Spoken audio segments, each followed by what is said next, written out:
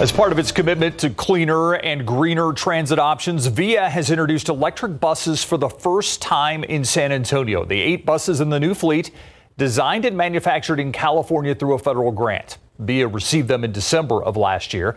We'll have two of them in service for the public to use starting on Monday for test runs. They'll operate on four routes, hold up to 38 passengers each. We also expect that electric buses in the next decade are going to become the dominant form or one of the dominant forms of transit coaches.